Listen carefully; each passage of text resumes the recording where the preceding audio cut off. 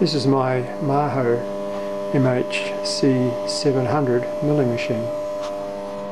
It's a fairly early generation one so it looks very much like a hand operated milling machine except that it's had added on servos and controller.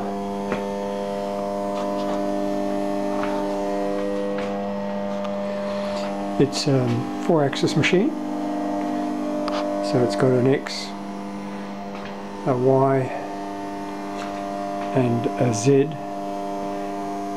and a rotary table here which is the main platen. Here we have a Heidenhain TNC 155 that's operating it and you can see here also an array of manual buttons and lights that actually sit in parallel with the main controller. This is what they did in the early days with these types of machines. You'll notice as well that I've got a magnetic overlay keyboard so that in this mode here it's uh, in uh, language that proprietary to Heidenhain. If I put this on and change one of the parameters in machine parameters I now have one that's ready to program in ISO G codes. It's uh, got a 4 kilowatt spindle motor and an 18 speed gearbox here in the Y slide. Um, one of the things about these machines is you'll notice that the cutter moves with the Y slide. But the other two slides move relative to the cutter, which makes it a little bit confusing as to X, Y and Z movements. So basically we use a right hand rule. My thumb is pointing in the X positive, my index finger is sitting pointing in the Y positive and the last finger is pointing upwards in the Z positive direction. In fact, the normal way of representing this is you always take it as if the cutter is the thing that's moving relative to the table and the table's, let's say, stationary. So in order to go um, X positive, you actually have to shift this whole assembly, this table, negative and similarly for the y uh, for the z-axis.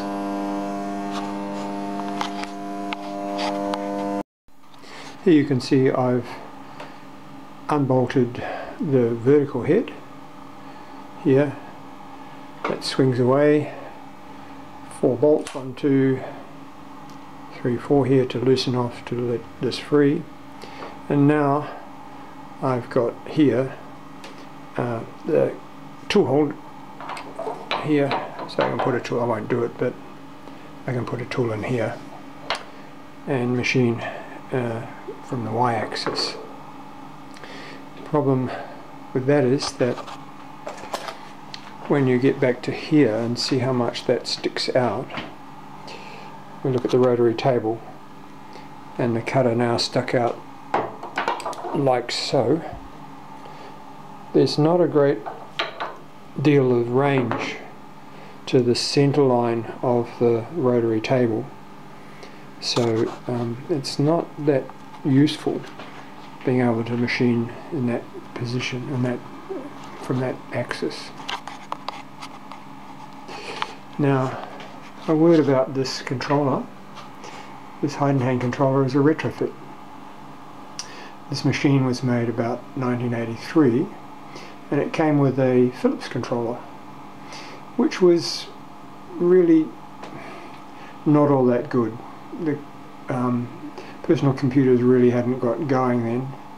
So around about 1990 this was upgraded. Um, the CPU in this machine is a TI equivalent of about an IBM well, Intel 8286 from the second generation of home PCs and this happens to have got the latest, the last updates to firmware and software possible on this machine. So it was um, maybe 1991 for the last software and upgrade before they changed the model to a later one. And this is one of the first ones that really was capable of doing, in fact in this case, five axes. I've only got four.